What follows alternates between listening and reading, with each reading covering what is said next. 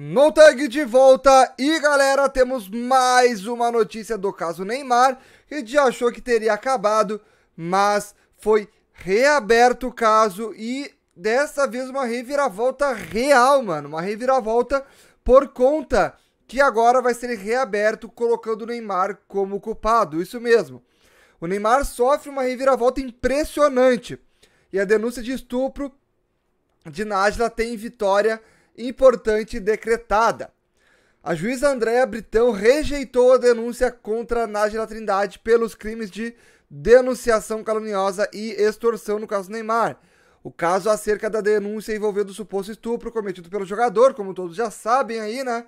Então acontece que, como já é de conhecimento público, no mês passado a Polícia Civil de São Paulo resolveu aí uh, pedir o, indiciamento de Nájila Trindade e do seu ex-marido.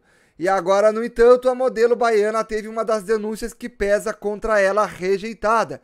E de quebra viu a possibilidade de uma reabertura do inquérito do suposto estupro que envolve Neymar. De acordo com informações do portal UOL, a juíza Andréa Britão rejeitou a denúncia contra a Nájila e pelos crimes de denunciação caluniosa e extorsão, no parecer da magistrada fica ainda mais em evidência o fato de que o inquérito policial que pode incriminar Neymar pela acusação de violência sexual pode ser reaberto a qualquer momento, e caso novas evidências incriminadoras sejam apresentadas, que é o que é possível aí acontecer. Em seu parecer, a juíza Andréa Britão afirma que o próprio Ministério Público já admitiu que não há provas suficientes sobre o crime de estupro, Contudo, a investigação pode ser reaberta, fato que, no entendimento da magistrada, a Nájila Trindade não poderia ser acusada de ter denunciado um crime que ela sabia não ter acontecido, já que o próprio Ministério Público não garante a inexistência do crime e admite reabrir essa investigação no futuro. Do outro lado da mesa, no entanto, Nájila Trindade, acusadora de Neymar, viu a juíza Fabiola Oliveira Silva emitir um parecer favorável à denúncia do Ministério Público sobre o crime de fraude processual, que envolve a modelo e seu ex-marido. Os dois têm até 10 dias para apresentar defesa ou tentar recorrer da decisão. Uh, e a juíza Fabiola Oliveira Silva acatou a denúncia e tornou a Nájila Stevens uh, réus por fraude processual. O advogado da modelo Cosme Araújo declarou que pedirá o habeas corpus para sua cliente. Já Stevens irá se reunir com sua defesa.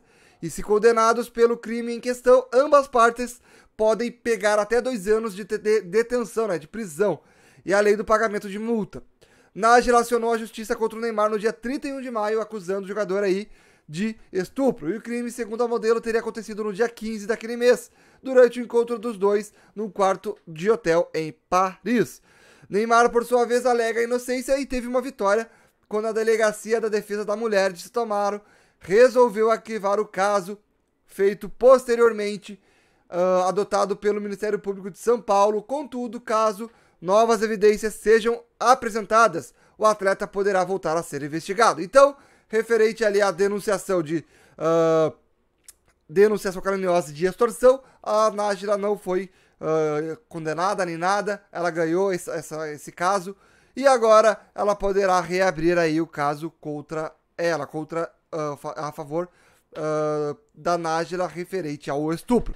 O que, vocês acham sobre isso, galera? Vocês acham que a Nájila realmente vai apresentar provas, vai tentar recorrer ou vão abafar esse caso? Quero que vocês comentem se vocês não gostam desse tipo de conteúdo, né? Da, da Nájila, que, que, tem gente que assiste por causa do futebol, de pés. No primeiro link aqui na descrição vai ter o link do, fut, do, do canal de futebol, que é o Noteg Foot, onde eu estou postando bastante Pro Evolution Soccer. Beleza? Então espero vocês lá. Deixem um like, se inscreve no canal. Um forte abraço e fui! É nóis, gurizada! Falou!